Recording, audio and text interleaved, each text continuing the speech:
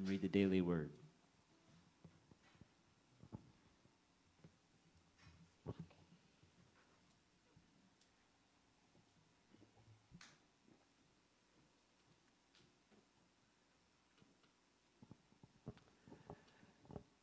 The light of the Christ candle reminds us that the divine light burns brightly in all of us, and we are all connected as brothers and sisters, for we are all one.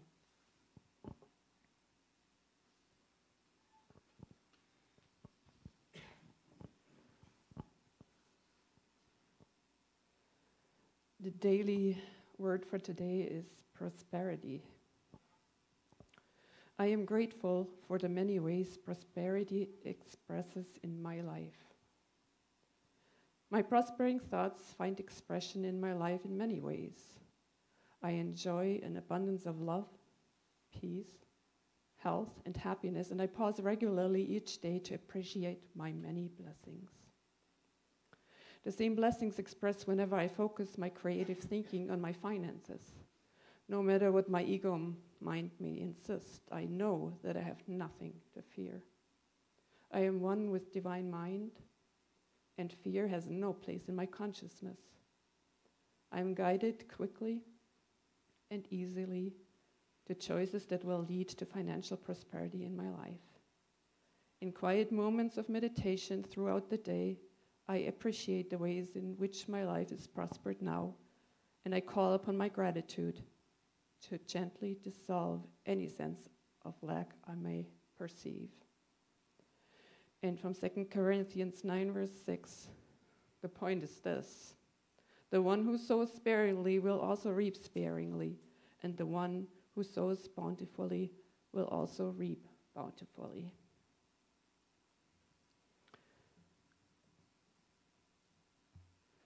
And now, uh, please join me in the Lord's Prayer, which is followed by Reverend Aubree-Lynn's meditation and the Sunday talk.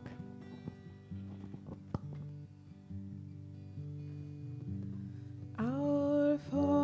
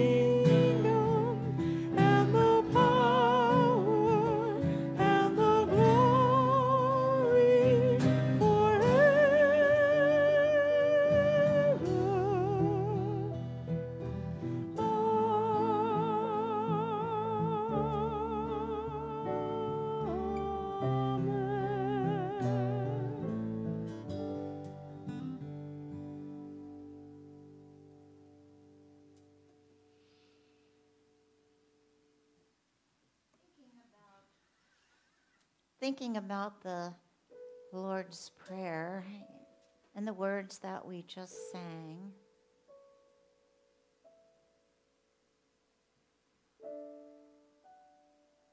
I invite you to go with me to this beautiful, beautiful garden.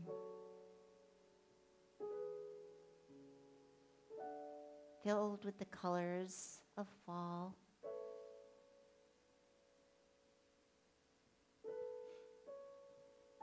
the magnificent array, trees in the background with gold, red, burgundy, orange.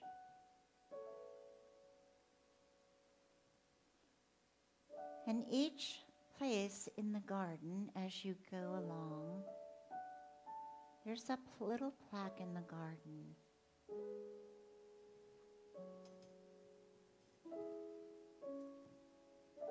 One says, Our Father.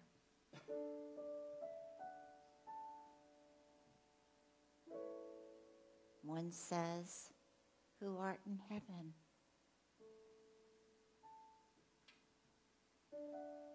Another, Hallowed be thy name.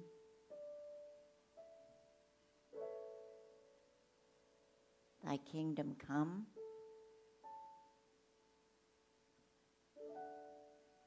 Thy will be done on earth as it is in heaven.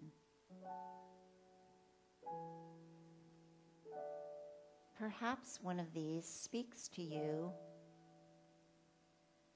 and there is a bench by each placket. And perhaps along the way, you'd like to stop and just think about the one placard. Or you'd like to move on. Thy kingdom come, thy will be done.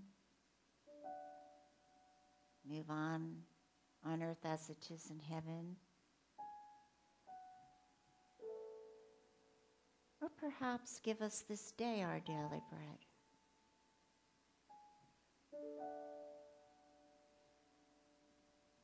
And the next one, there's three and four and five benches where it says, Forgive us our debtors as we forgive those who trespassed against us. Maybe you want to stay there.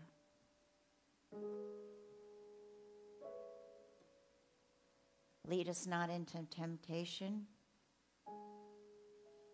Deliver us from evil.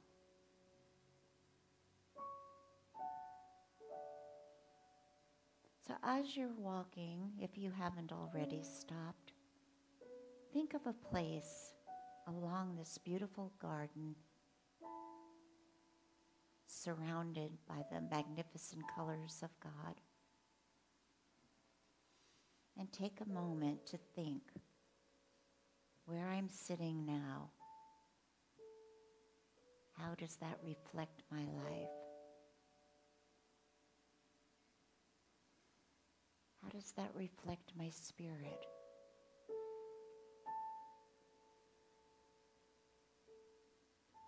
Do I, in fact, even know truly what this prayer means?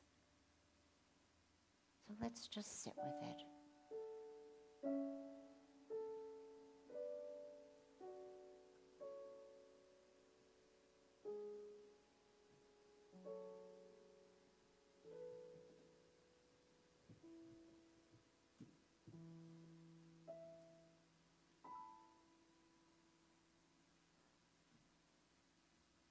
And as thoughts,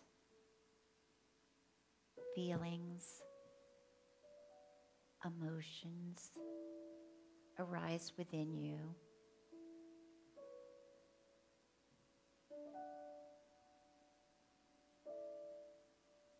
turn and look at all's before you.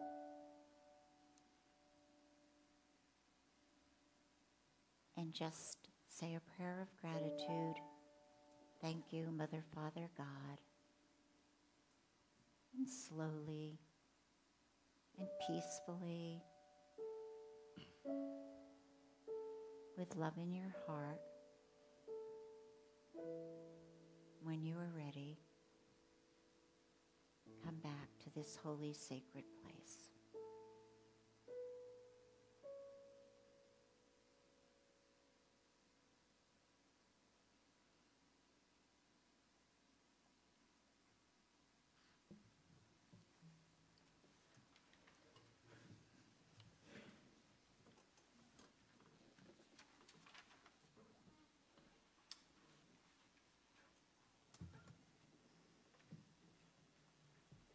Well, I'd like to dedicate today's um, talk, Metaphysical Meaning Interpretation of the Lord's Prayer, to Sandy Alexander.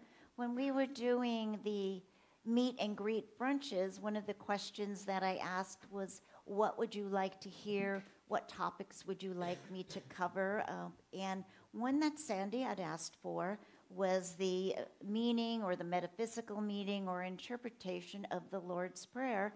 And somehow it just finally worked into the schedule, and uh, I wanted to, so thank you.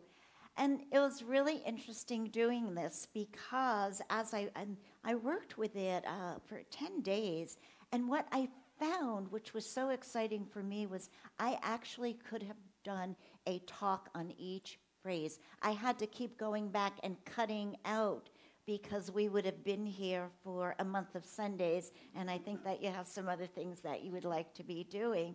But also, when we go into looking deeper into something, there's so many more meanings and ahas that come up. And as I would lie in bed each night, I would start with Our Father and I would start rewriting. So each one of us can actually take that one line, our Father, and make it into whatever we want it into. And it doesn't dilute the prayer, it makes it work internally for us. So, this prayer, as we know, is given to us by Jesus, and it contains some of the most beautiful, inspiring, helpful ideas that we could possibly need. The, re- the prayer reminds us of some great truths about ourselves and our relationship with God. And it reminds us of the tremendous, unlimited potential that's within each one of us that we've not yet come to recognize. So, contemplating these ideas, then we grow in our spiritual awareness of them so that God's Spirit, whatever you choose to call that, which is your creator, can work through you. God in me, as me, is me. And to understand that meaning. So the prayer is, a, is like a compact formula for the development of the soul. And I never looked at it like that before. So thank you, Sandy, for that. So the prayer falls into seven clauses, if you will, and this is characteristic of the Oriental tradition. Uh, seven symbolizes individual completeness, the perfection of the individual soul. Now, the eighth clause, for thine is the kingdom and the power and the glory forever, uh, is not part of the Lord's Prayer. It was added. Now, it is a beautiful affirmation thine is the kingdom and the power and the glory forever, but it was not part of the original Lord's Prayer. And I believe, and it always bothered me when I went to the Catholic Church with my friends because they didn't say that line. And I grew up Protestant and we said that line. So I was like, you forgot part of it. The seven clauses, Jesus, such a master, they were put together in order that they contained everything that we could possibly need to nourish and enrich our soul. This is not just a prayer for us, it is a prayer for all of mankind. So let's begin. Our Father, not an old man in the sky. Okay, so when we, we get that uh, right away uh, from a lot of our bringing up God up in the sky, no, that's not. Our Father represents the creative, creative capacity of God within the individual. And if our Father bothers you, uh, our Creator, because that creative energy is what created us. So it's not a matter, I don't like it because I don't like our Father. Um, I'm not crazy about the Father word either, and I, you know, most of you know that I prefer a Holy Mother. And Holy Mother is who I, my go to for prayer. And when um, I need that nourishment, I, I want the female aspect of God, and that's totally fine. But these words remind us of the close, intimate relationship that we have with God's Spirit, a relationship that which we depend on totally for all that we need. God is our creator, our source of happiness, joy, health, supply, security, or whatever's needed. But many times we turn to that outer world seeking someone or something to fulfill a need within ourselves. But there is nothing, and we know this, There is nothing in the outer world that can make us happy. It may make us happy for an instant. You know, we go shopping and we come home with all our bags and we feel great. Or, you know, we redecorate our house and it's all done and we feel great. And then you get the new car and then the new car smell wears off and, well, that was great. And there used to be a song, Is That All There Is to That? And that's kind of it because when we fill ourselves up with things, sometimes we're crowding that room within us that needs to fill ourselves up with spirit. So, God in us is the source of all energy, and that's the creative aspect of everything we expect. My thoughts are prayers. My thoughts are prayers. What are we praying for? Our present human awareness may be limited, but the inner source, God, spirit, intelligence, creative energy, that is never, ever limited. So when we affirm our Father or our Creator, we are acknowledge our oneness with this creative source. That's all we're saying. It's the same thing as the first principle of unity. God is all there is. The first uh, line for religious science prayer treatment is God is all there is. So we're going all the way back two years, and I'm two years, 2,000, you know me in the zeros, 2,000 years or 5,000 years. It's the same thing. What we are acknowledging before we can go forward in our lives is there's one source, one intelligence, one God, whatever you choose to call it with a capital I, is all there is. That infinite intelligence, that wisdom. Our Father in heaven means, according to Charles Fillmore, our Father means that everywhere present inner harmony. Everywhere present, there's inner harmony. And we get to choose that inner harmony. Everywhere present, inner harmony. Our Father tells us also that we are the children of God. Jesus is not the only begotten Son. We are all the begotten sons and daughter of the one Creator. Are you with me there? You agree? Children of God. Beautiful. well, thank you. Taurus is agreeing with me. Thank you. Okay. Who art in heaven? So this is not the heaven in the sky. Heaven is a state of consciousness, and metaphysical, uh, metaphysically, we believe that. Uh, it's a state of consciousness, and it's a condition of our soul. When we are in tune with the Creator and in harmony with the universe, we're in heaven. How many times do you just go, this is heaven. You know, I walked outside this morning and it wasn't freezing. I went, this is heaven. You know, this is heaven because we're in tune with that which is of the nature, and nature, of course, is God. So when we're out of tune, we're not living spiritual principles, and this is what we call hell. So both can be heaven and or hell by merely a state of our consciousness.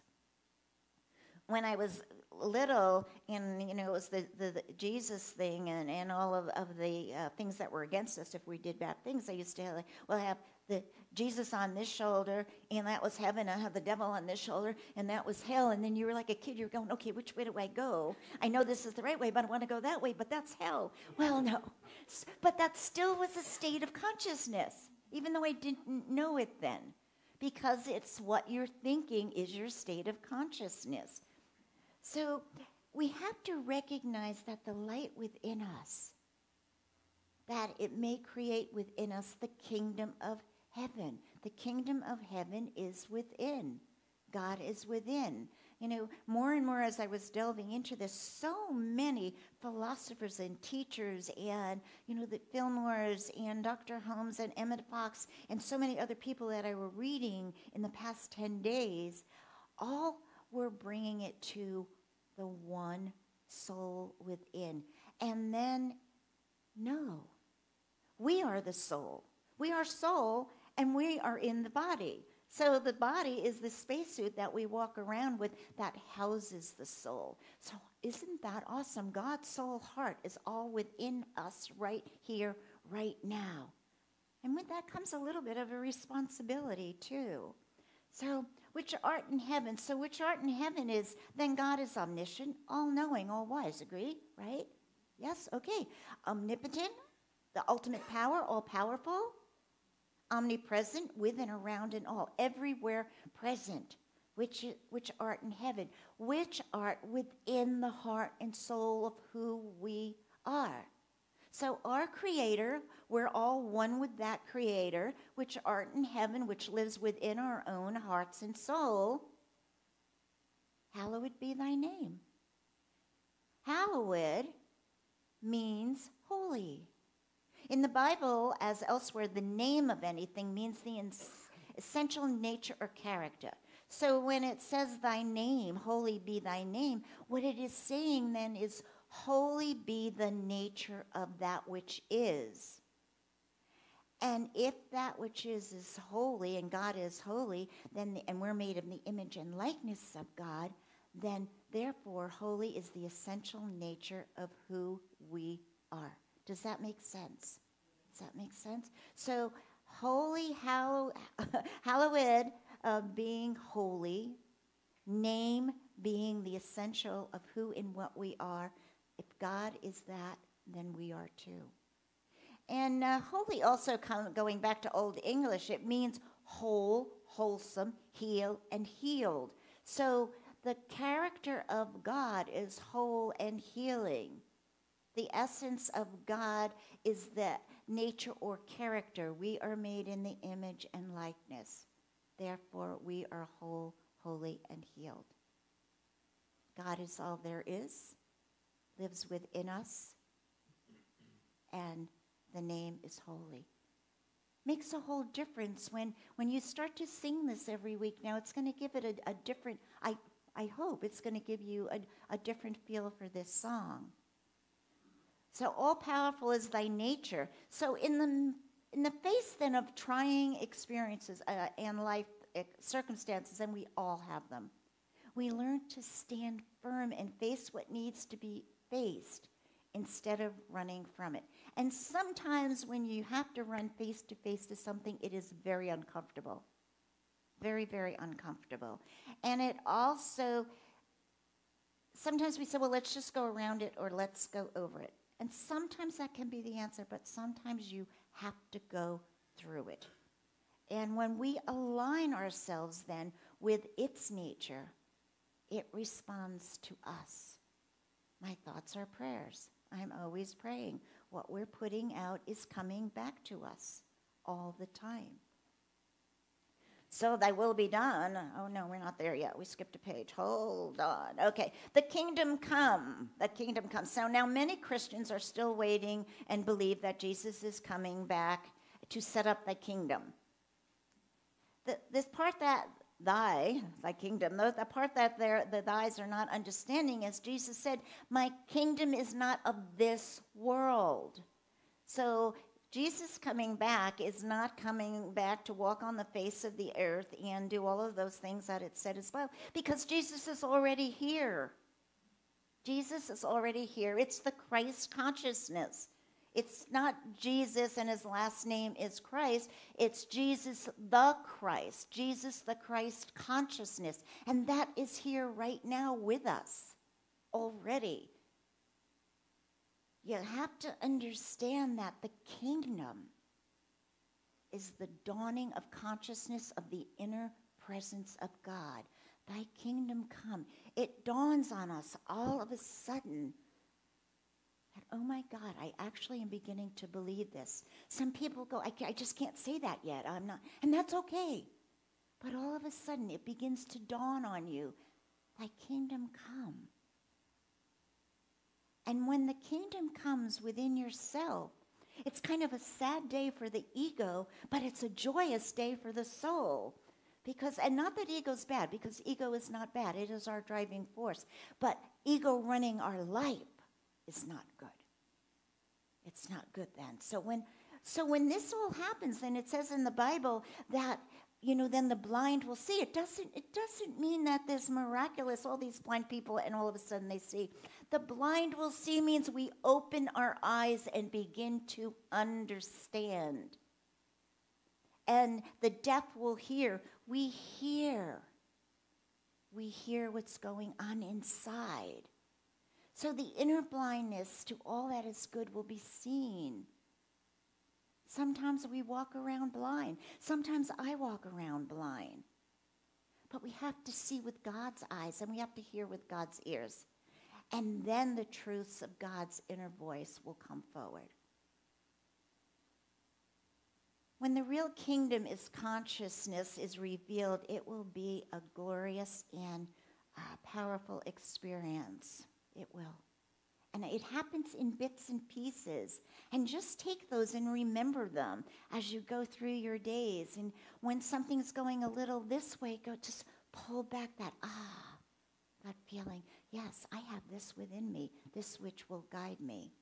So thy will be done then on earth as it is in heaven. This is a hard one to understand because we think, well, that's God's will and I have no choice. Uh uh-uh, uh, wrong. Uh uh-uh. uh. This is a hard one because only good is God's will. Only good and nothing but good.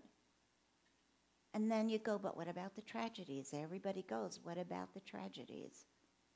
God does not create tragedies. Our lives, not ours, our lives are what creates tragedies. And about that, is there a soul agreement? I don't know. Do I think perhaps there is one? Maybe.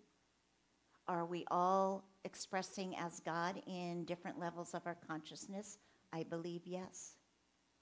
Am I going to tell the mother that just lost four daughters that, you know, that's not the will of God? And am I going to tell her that, you know, maybe that was a soul agreement? Of course not.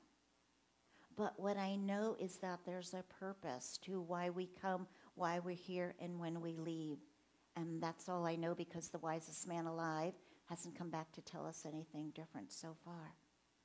So when we set aside our goals and plans and accept that God, God wants more for us than we ever could imagine for ourselves. Absolutely. You know, it, it's the Father's good pleasure to give you the kingdom. How much of it are you ready to take? Do you come with, you know, please, sir, can I have some more? Or do you come with, please, sir, can I have some more? What do you come with? What is your begging bowl? You know, maybe it should say instead of, you know, thy will be done, thy good be done. Thy good be done on earth.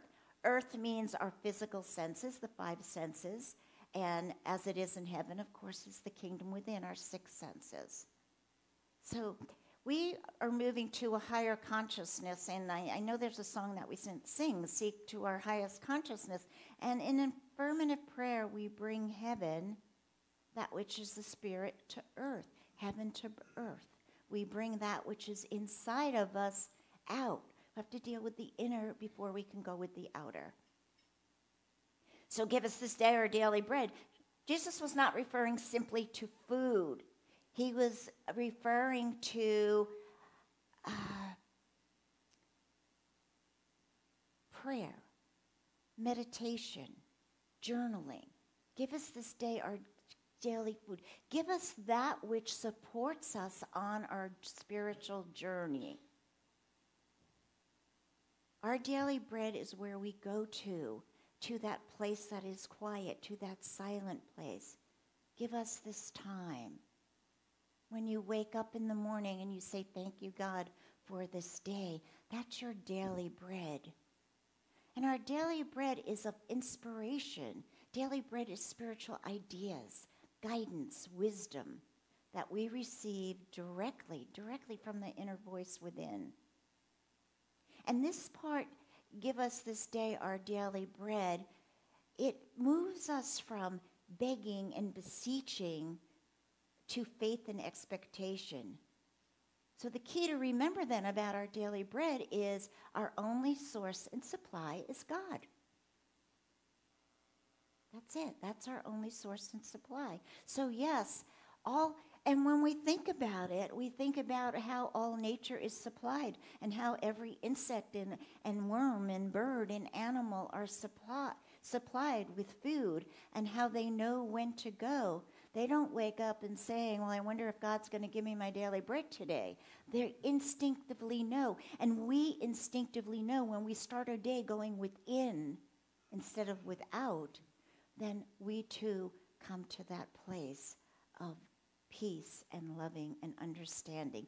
God, the source and supply. It's not your job, it's not your paycheck, it's God. So, forgive us our debts as we forgive our debtors. This is the tricky one, very tricky, because before our minds can be free, you have to have freedom, and to have freedom, you must hold nothing against ourselves or anyone else. You cannot, until you forgive yourself, you cannot forgive someone else. You may think you do, but you're still harboring something in. We have to be at peace with our brothers and sisters. And it's simple and it's difficult. Laura Berman is a great metaphysical singer, and she has a song. Um, it's called "I Think It's Time for the Letting Go," and it's oh, it's such a great, passionate song. And in that, she's taking total responsibility for her life, and she talks about letting go of the pills and the drink and and all of the things. And I think it's time for the letting go, and she's letting go of all the the blame and the guilt, and and it's powerful and it builds. And I think it's time for the letting go and she is a metaphysical teacher. And she, this song is uh, quite, uh, it's probably 20 years old. And I have done some workshops with her. And the passion of accepting the oneness of who and what you are with our Creator and the willingness to let go of all of that stuff. And, you know, when you're letting go of drugs and alcohol and whatever your addiction may be, it's not easy. So, forgiving ourselves and letting go is more important. The debts are not financial. It's not forgive us our debtors like people who owe us money, although they might. It's spiritual.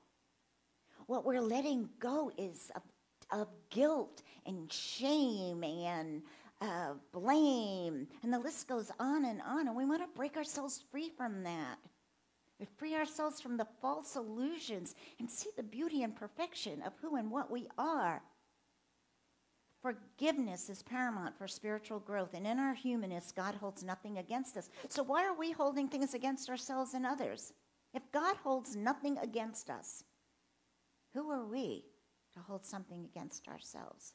If I'm a loving child of God, if, if you're a loving child of God, God holds nothing against us. Hold us not. So, I want to tell you that in um, Emmett Fox's book on forgiveness, he says that we can't go forward with this prayer or that we can't say it anymore until we are forgiveness.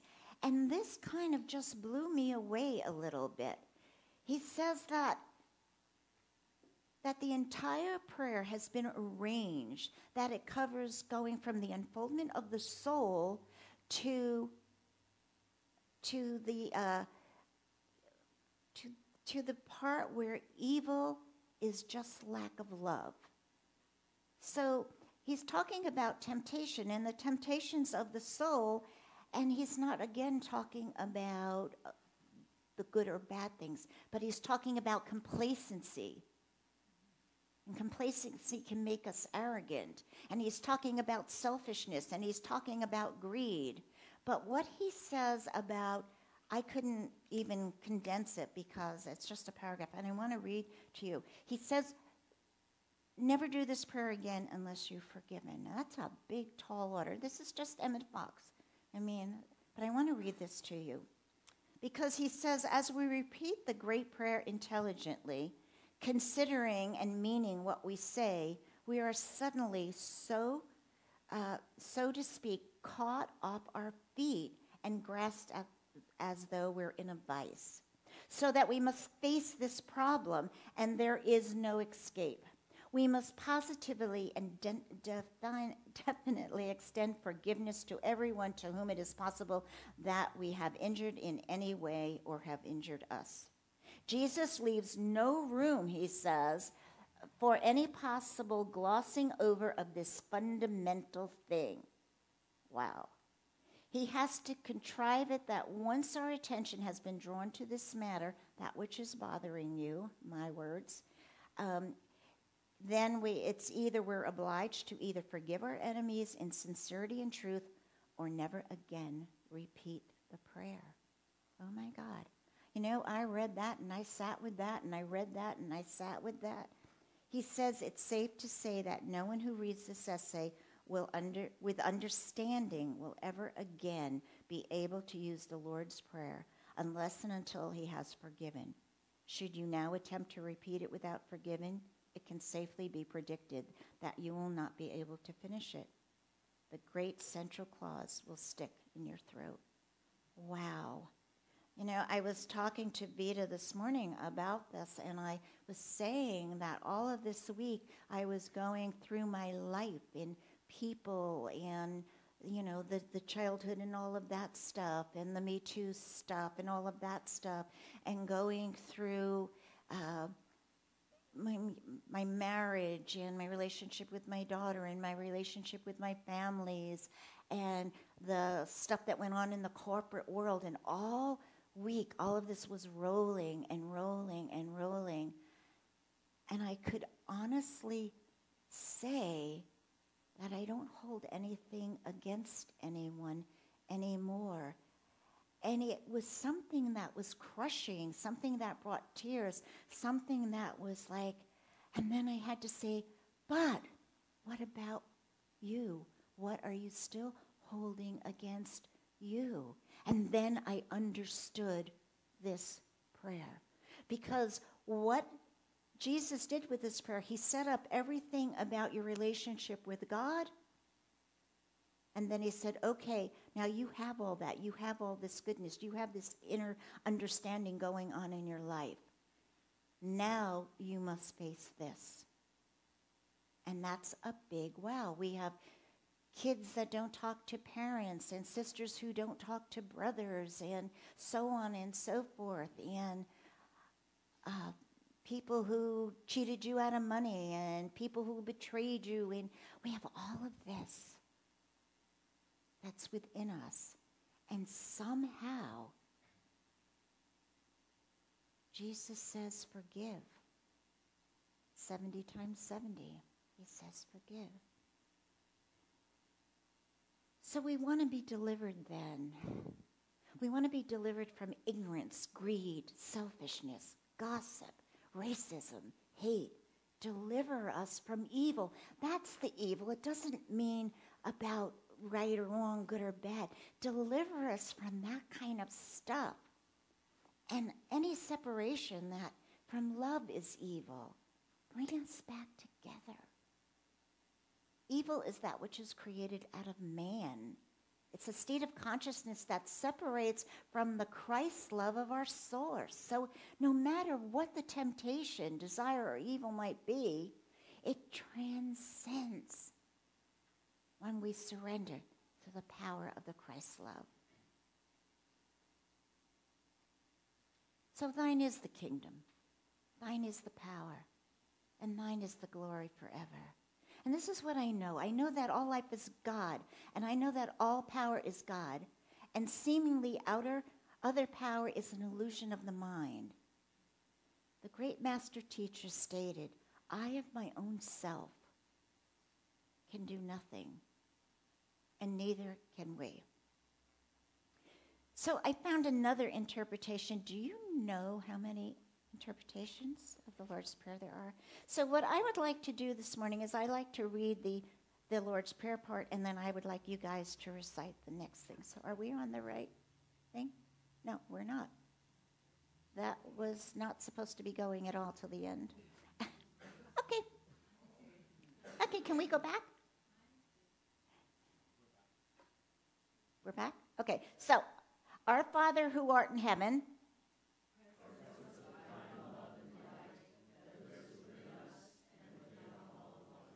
Hallowed be thy name.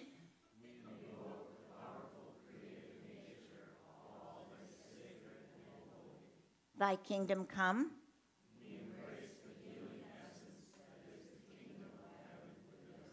Thy will be done.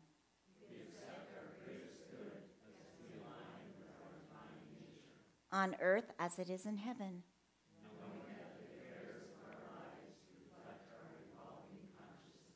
Give us this day our daily bread.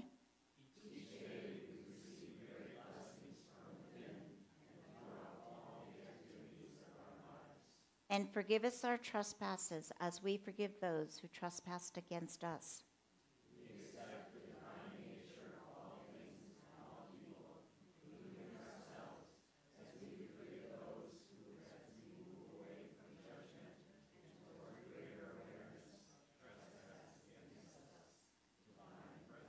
And lead us not into temptation.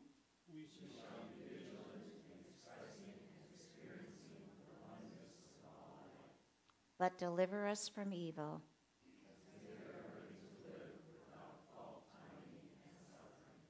For thine is the kingdom, and the power, and the glory forever.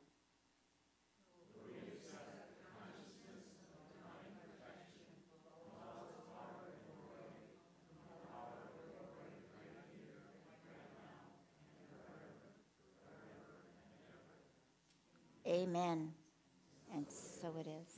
And so ends the lesson, and so begins a very, very special, precious moment.